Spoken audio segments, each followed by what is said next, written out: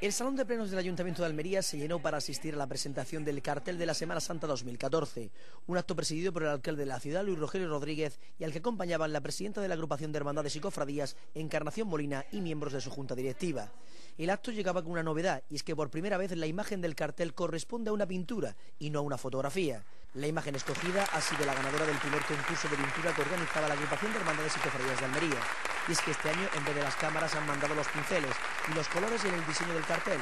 La obra ganadora del artista gaditano, pero afincado en Padules, Manuel Jesús Obregón, lleva por título Y a tu llegada. Representa el momento de la pasión almeriense en el discurrir de la hermandad de nuestro Padre Jesús de Salud y Pasión en su tercera caída y María Santísima de los Desamparados, que recorre las calles de la capital en la tarde-noche del lunes santo. Cuidar de lo nuestro, cuidar lo que tenemos para compartirlo con orgullo con quienes nos visitan no solo refuerza la proyección urbana de nuestra ciudad, de Almería, en estos primeros años del siglo XXI, sino que además supone también un gesto de madurez social beneficioso para todos. Tras la presentación del cartel llegó el momento de conocer el nombre de los ganadores del concurso fotográfico. José Alfredo Felices, con su obra Caridad, su paso por Puerta China, fue el ganador del primer premio dotado con 300 euros, y cuya obra será la portada del libreto de horarios e itinerarios de este año 2014 mientras que Baltasar Galvez ha obtenido el segundo premio, dotado con 100 euros. Ya huele, como acostumbramos a decir muchos cofrades.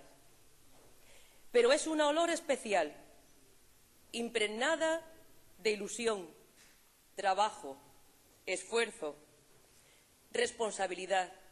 solidaridad, constancia, oración y un cúmulo de sentimientos a la finalización de la entrega de estos premios, el acto finalizó con otro momento importante, como fue el descubrimiento a todos los asistentes del lienzo original que ha inspirado el cartel de este año, acto que llevaron a cabo Luis Rogelio Rodríguez y el propio artista autor de la obra. Al término del acto se llevó a cabo la tradicional foto de familia con todos los protagonistas de los concursos.